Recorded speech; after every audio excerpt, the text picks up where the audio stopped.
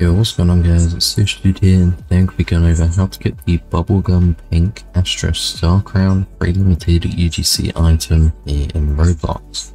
So the first thing you will go ahead and do is join this Roblox game called UGC Pause. I'll have the game link down in the description below. Once you're actually here in UGC Pause, uh, go up to the top of your screen and you'll see there's like this timer. So that resets to 30 minutes every time anyone walks, jumps, or spins.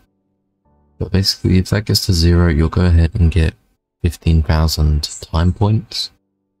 And with that, you can go to the UGC shop and click on the bubblegum brand there. And as you can see, you need 100,000 points to actually redeem this one. It's 250 uh, max stock there. You can claim it three different times, but just in case people keep trolling, you do get one, you know, time point every second. So, you know, even if people are messing with you, you still get to go ahead and eventually claim it.